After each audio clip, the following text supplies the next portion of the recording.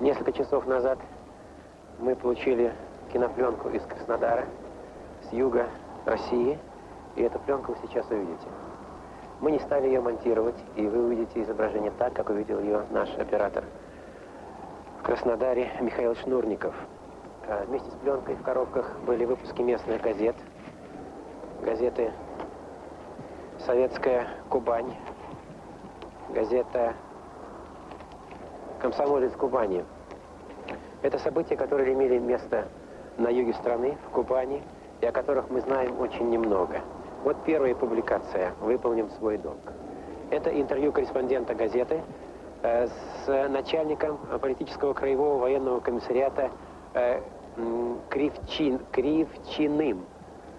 Э, корреспондент задает вопросы по поводу мобилизации, объявленной в Краснодаре для отправки э, военнослужащих, военнообязанных на войну за Кавказье.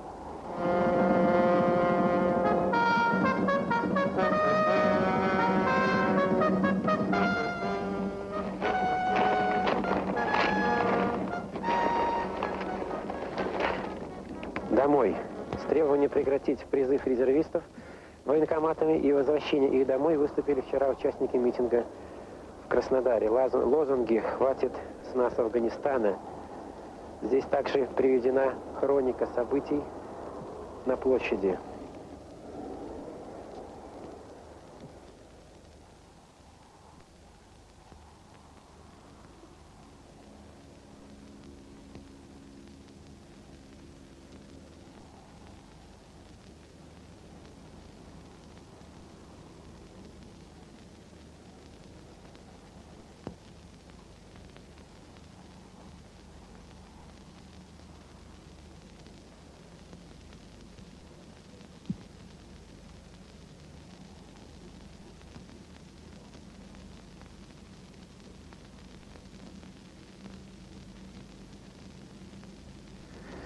Сожалению, у нас нет записи фонограммы этого митинга. Нелетная погода, и мы до сих пор не получили никакой дополнительной информации из Краснодара. Однако несколько, несколько деталей из хроники этих событий. По приказу министра обороны Язова, все же с 18 по 25 января военкоматы должны прекратить мобилизацию.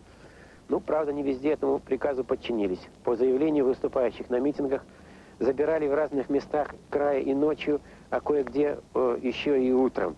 Приказ не дошел до мест. В первый же день митинга была создана инициативная группа по, э, из представителей общественности. И мы уже говорили, что вошел в эту группу секретарь крайкома Азаров, который, судя по всему, организовал активные действия группы. Э, эта инициативная группа выходила на связь с Воротниковым, с работниками аппарата ЦК партии. Вечером в 21 час был организован прямой эфир на, из телестудии представителей инициативной группы, которые рассказали о ситуации, о ходе переговоров по прекращению мобилизации. В течение 19 января местное радио выходит эфир с сообщениями о происходящих событиях крайкома. Около 16 часов 19 января вышло в прямой эфир местное телевидение, наконец-то, по требованию э, собравшихся на митинг. Трансляция шла до 21 часа. Ночью митинг продолжался. Люди требовали освещения событий в центральной прессе на телевидении. Выступил председатель краевого телевидения Колесниченко, сказав, что снятый утром киноматериал отправляется в Москву. Э, а также были переданы две телетайпограммы на центральное телевидение с просьбой выйти в живой эфир 21 час в программе «Время». Ответа за весь день не поступило. Около 20 часов вечера Азаров заявил, что в программе «Время» отказались дать репортажи. Днем первый секретарь крайкома Полосков добился в телефонном разговоре с командующим Северо-Кавказского военного округа обещаний о возвращении резервистов домой. Вот мы сейчас на экране видим этот момент, его беседа по телефону в кабинете. К сожалению, у нас нет фонограммы. Э, выступающие рассказывали о том, что налаживается связь инициативной группы с Майкопской, группой, где формируется часть для переброски в Закавказье. Э, поступает сведения о том, что в Майкоп вылетели из Кировабада самолеты с призванными. Народ потребовал привести возвращенных на площадь. Полосков обещает выполнить это требование.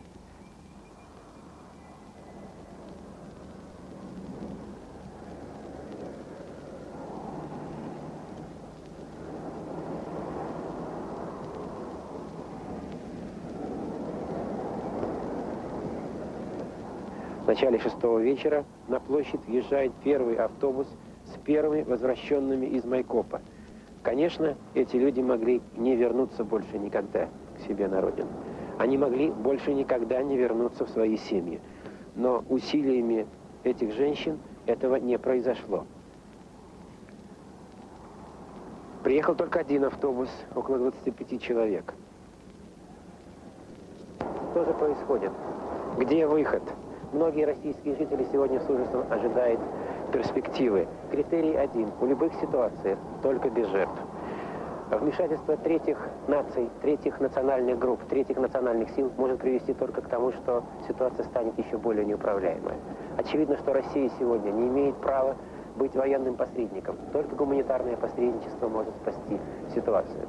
Сегодня можно обратиться э, к руководству страны, к Верховному Совету, конечно, с категорическим требованием э, в решении всех вопросов внутренней политики страны, в решении вопросов за Кавказе, э, решать эти проблемы только мирным путем. Сегодня необходимо учитывать, что коммунистическая партия не обладает уже и давно уже не обладает абсолютной монополией на политическую истину. Народ, система народных фронтов, которые существуют и в Закавказье, а теперь уже и в России, это реальная политическая сила. Если сегодня отчетливо не осознавать это, последствия непредсказуемы.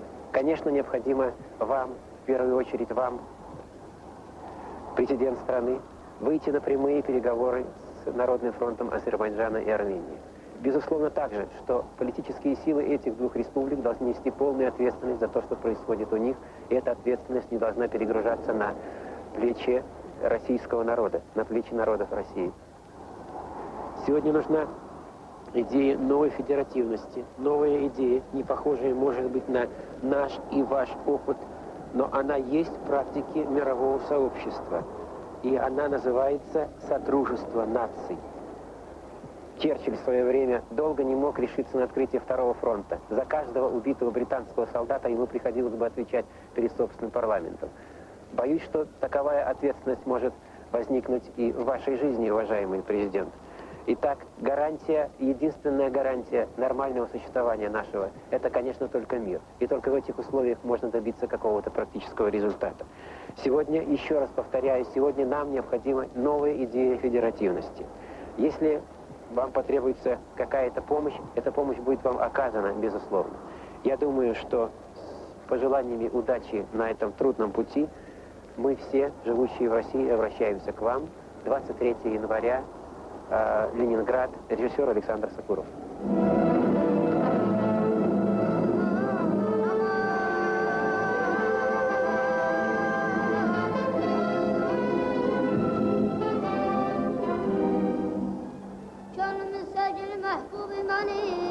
vatanimdir, vatanimdir, vatanım. Vatanı sevmeyen insan olmaz,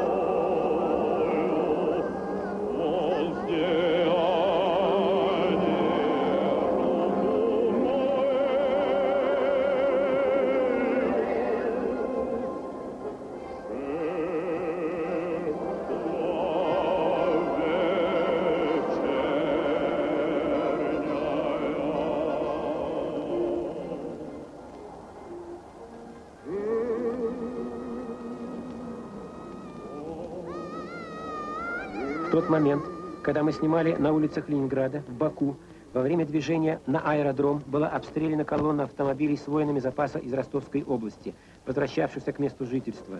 Погибли рядовой запаса Борис Борисов и рядовой запаса Игорь Редько. Информация известия от 24 января. И еще.